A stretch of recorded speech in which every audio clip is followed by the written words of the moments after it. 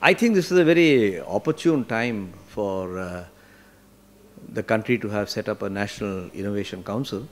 And the reason is that we are at a turning point, we are at an inflection. The self esteem of the country, the self confidence, the self assurance of entrepreneurship have all been well established. Well established to the point of not only driving India's growth, but well established to the point of gaining global rec- recognition. People are talking about frugal innovation, reverse innovation, and the ideas that are coming from the emerging economies, including India. And I think this is happening because you have to live in this environment to feel and empathize with the nature of the problems that a consumer faces.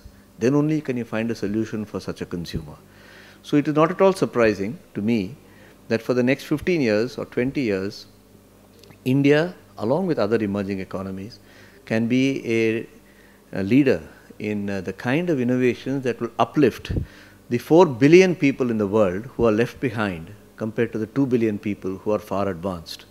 So I am seeing this initiative in areas like healthcare, drinking water, sanitation, better spread of education, better availability and transparency of information, which is empowering in a democracy. These are the kind of areas in which I am seeing innovation which can have the same effect on the population of this country as cell phones have had in the last 15 years.